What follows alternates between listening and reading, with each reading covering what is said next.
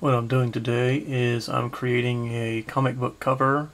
It's going to be painted. This is the just black and white line art right here. I did it in Photoshop. And then um, just printed it out. And what I'm going to do from here is transfer it over to the uh, canvas. This is the uh, printout right here. I'm using an art projector that'll go from a one inch scale to one foot. So this is a uh, two by three inch. So the end result will be a painting. It's about 24 by 36. This is my super fancy uh, setup here. This is a, an art projector. And I'm gonna put on a on various things to get it at the right height. What I'll be doing is projecting onto the canvas over here Normally I'll work with just a, uh, a blank white uh, panel. That way the pencil lines will show up nice and neat. But uh, this is actually the back cover of the previous issue and I'm going to reuse the panel to be the front cover for issue number three. Okay, this isn't going to work very well, um, but it's just too dark in the room for the camera to pick up. However, what I'm doing is I'm getting the uh, drawing into focus. Uh, the uh, drawing is uh, pretty much centered where I want it to be, uh, equal distance from uh, the edges. And then from here, it's just a matter of going over and tracing out what I end up painting. Alright, well the image is now transferred over. As you can see, you know, the uh, pencil lines. I can't really tell uh, what's happening up here, but I'm just going over the drawing and making sure I didn't miss anything too important. Alright, well from here, uh, we're going to take it inside and uh, start laying uh, primer down and making that black and white version of this painting. Uh, over here what I'm doing is preparing my palette.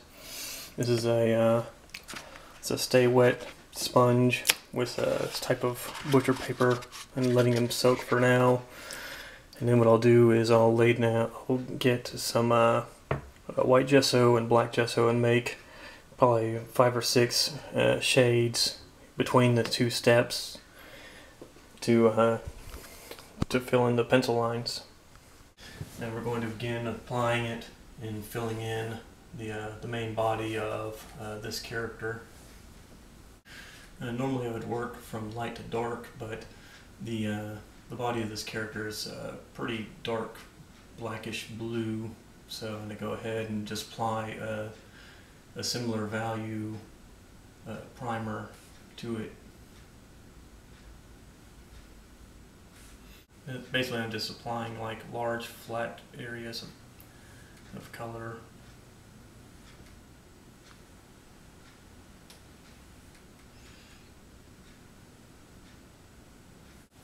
I'm going to switch over to a lighter shade for the uh, inner lids over here. Actually, let me let me go ahead and do this, the white of the eye.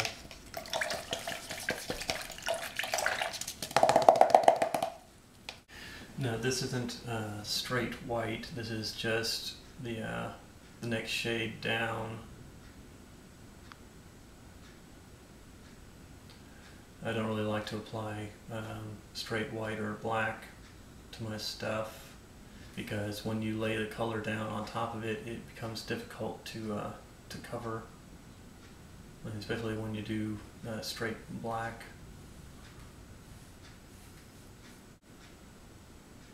This is pretty much the uh, the 50% mark between uh, white and black that I made. The uh, brush that I'm using is uh, just a flat brush. Actually, pretty much every brush I have um, is, if it isn't a lining brush, it's a flat. I don't really like rounds because they're not very precise. I mean, I know they're supposed to be good for blending, but I can do pretty much the same thing with the with a flat. Also works really well for doing lines like this. You know, and it holds much more paint than your normal uh, lining brush.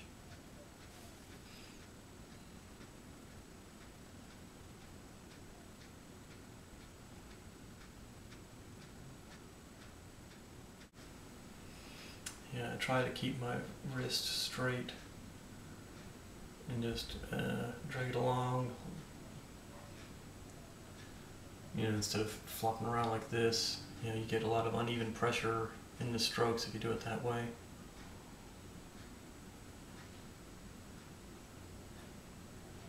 It's a technique I picked up from uh, an inking book for comic books.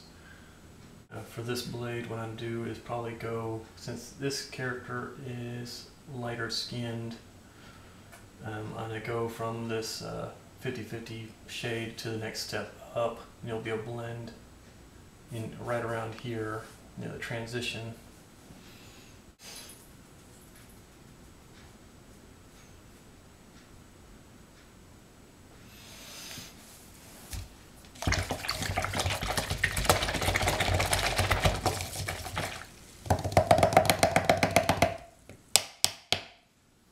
Here is the finished uh, product as far as the priming stage. I went ahead and added a little bit of line work and detail just to make sure I got all the proportions right. And then uh, just like a little bit of uh, shading on the metal reflections. And then from here, we're going to uh, start mixing up the, uh, the colors and uh, start laying down just thin washes to establish the uh, flesh tones and the, and the colors of the, um, the fan blades. Uh, all in all, this took, um, I don't know, maybe an hour to do. It goes by pretty quick because, I mean, you're not dealing with uh, a lot of stuff. I mean, it's only about five shades of uh, white to black. As you can see, I've already started laying down some color. Uh, basically, I'm building up the surface using a lot of really thin washes. Uh, what we're about to do is uh, start adding some shadow tones to the flesh over here. I don't know how well this is going to show up. But over time, over like four or five layers, it'll it'll definitely start to pop. Actually, I think this might be a little dark, but I can always uh, go over it and and lighten it up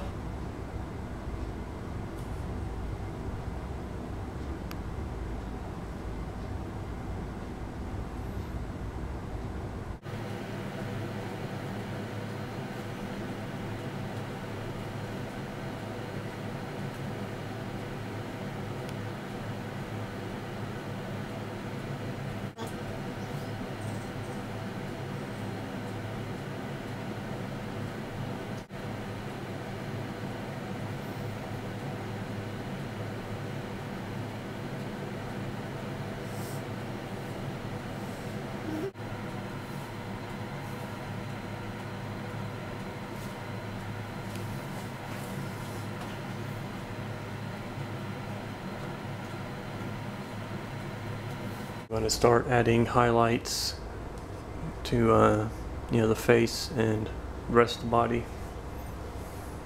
This is mostly uh, titanium mixing white with the uh, the lightest body shade.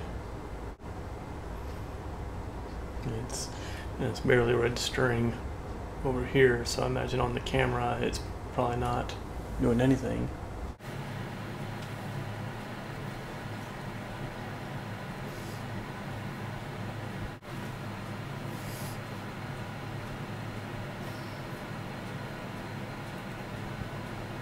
I've started working on the last figure right here. Uh, it's going to be kind of tricky because there's a lot of neutral tones, a lot of flesh tone, but it's not just like a normal healthy skin tone. It's very pale And what I have in mind is to maybe mix in like a tiny bit of green to make it kind of like a, a dead flesh color.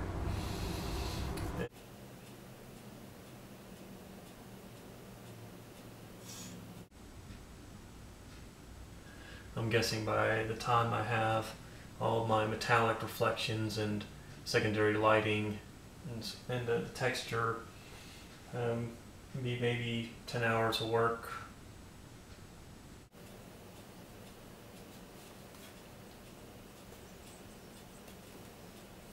As you can tell, I've been uh, adding more and more uh, layers and detail. Got the uh, metal texture in here. This is using this, uh, it's a, I believe it's called a French blue. Um, and also added like the little reflective surface of the skin in here. And of course, uh, highlights.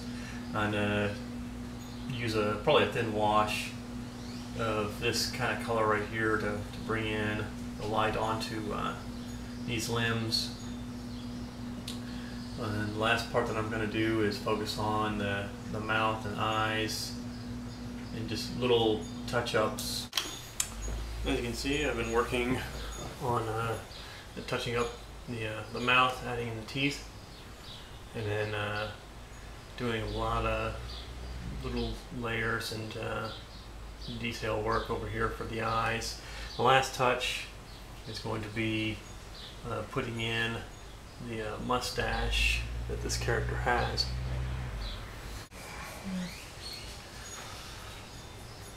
Basically, I'm using a uh, blue with um, a little bit of purple and carbon black. It's a lot like this stuff over here.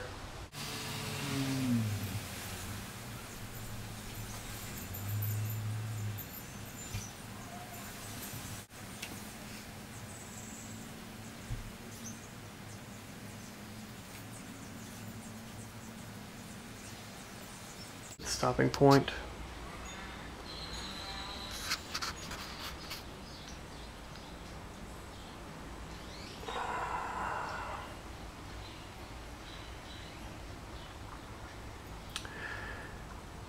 Yeah. Uh, just so you can see the rest of it.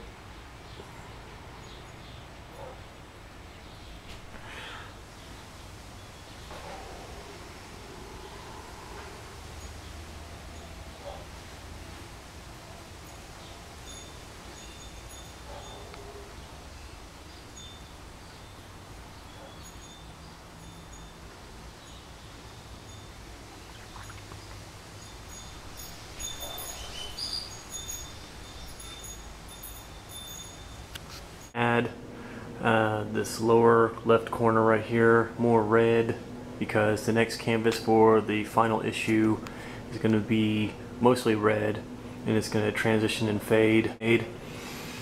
Uh, over here this bolt was not the same dimensions as uh, this one so I had to uh, increase the uh, length and the width just a little bit I think it turned out alright. Last change, which was a kind of a major one, was to take this and it used to be kind of an olive drab color, but then um, it just wasn't contrasting very well with uh, the background. So we decided to go with just a plain old charcoal gray. A final step will be uh, clear coating it and then uh, that should be it. And then going into the computer and adding the, uh, the title up top and the prices and the, the logo. So there you go